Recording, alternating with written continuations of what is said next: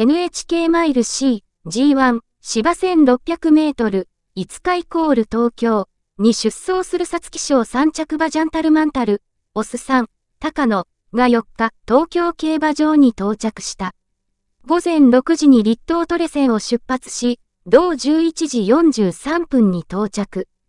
筋肉質で迫力のある馬体を揺らし、堂々とした様子を見せた。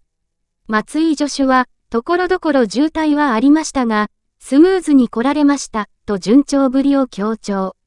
レコード決着の前走後について、レース後はピリッとした部分はありましたが、とてつもないダメージはありませんでした。慎重に調整を進めて今は疲れもないですし、中間は元気でした。